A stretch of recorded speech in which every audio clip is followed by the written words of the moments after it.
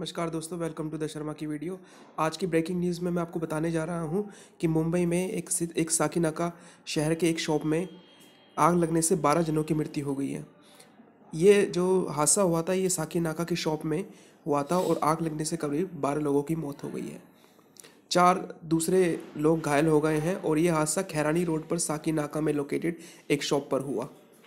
यह हादसा आज सुबह मंडे बारह बजे के आसपास हुआ। बारह घायल लोगों को जो रजवाड़ी हॉस्पिटल में एडमिट करवाया, जहाँ हॉस्पिटल में एडमिट करवाने के कुछ घंटों बाद ही उनको मृत घोषित कर दिया गया। डेड पर्सन की जो आइडेंटिफिकेशन अभी तक नहीं हो पाई है, अभी तक पुलिस उनके आइडेंटिफिकेशन के आइडेंटिफिकेशन के इंफॉर्मेशन लेने के लिए उनकी सोच में लग रही है।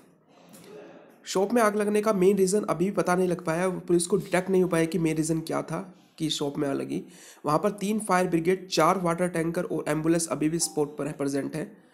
अगर और आने वाली अपडेट के लिए चैनल को सब्सक्राइब करें, ताकि जो मेन रीज़न होगा या फिर जो अलग इन्फॉर्मेशन होगी इस वीडियो के रिगार्डिंग मैं आपको बता दूँगा। Thanks, thank you.